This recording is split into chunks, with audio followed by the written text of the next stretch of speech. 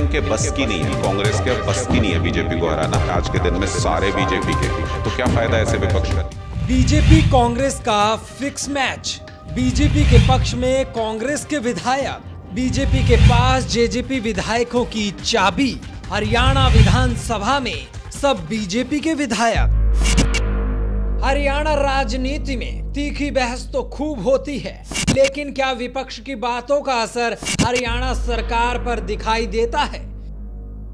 Action तो खूब दिखाई देता है, लेकिन क्या उसका कोई रिएक्शन भी दिखाई देता है?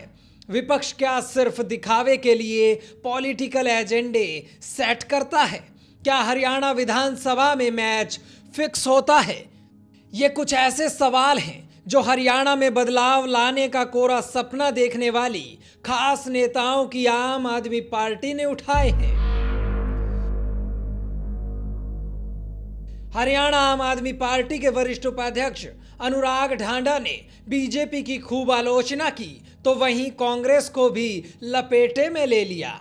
केंद्रीय स्तर पर अपने नेताओं के बचाव में विपक्षी नेताओं का कुनबा इकट्ठा करने वाले आम आदमी पार्टी के नेता राज्य स्तर पर इतर बात करते हैं। हरियाणा की राजनीति में आम आदमी पार्टी की आम लोगों में पैठ बनाने के लिए बिना सिर पैर की बात कर रही है। तो अनुराग ढांडा भी खुद ही अंदर की बेबाक बात कर रहे हैं।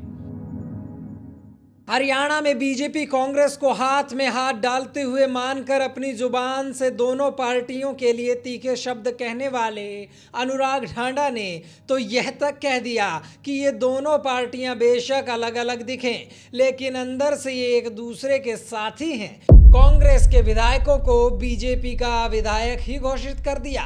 विपक्ष की भूमिका को निभाने की नसीहत भी दे डाली। देखिए, विधानसभा के अंदर तो सारे बीजेपी के ही बैठे हैं, मैं ये कहता हूँ। कांग्रेस के जो बत्तीस विधायक हैं, इकतीस बत्तीस विधायक हैं, उन्होंने क्या किया आज तक? विपक्ष की आवाज़ उठाई है कभी वहाँ पे। क्या फ़ायदा ऐसे विपक्ष का तीस इकतीस विधायक लेके? आप एक बात नहीं मनवा पाए पिछले नौ साल में। आप मुझे बता दो, आपको कोई याद आता है एक मुद्दा जो कांग्रेस पार्टी ने उठाया और मनवा लिया सरकार से? अनुराग ढांडा ने तो यह तक कह दिया कि बीजेपी विधानसभा में अपने ही विधायकों के साथ बैठी है।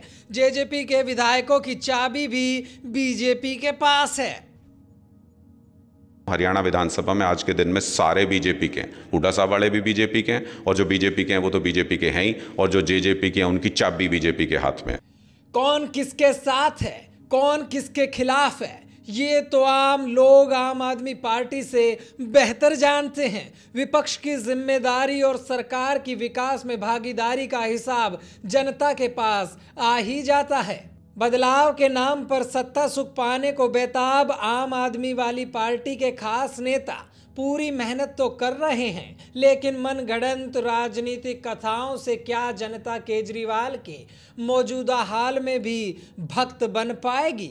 2024 का सारा साल हाल बता देगा।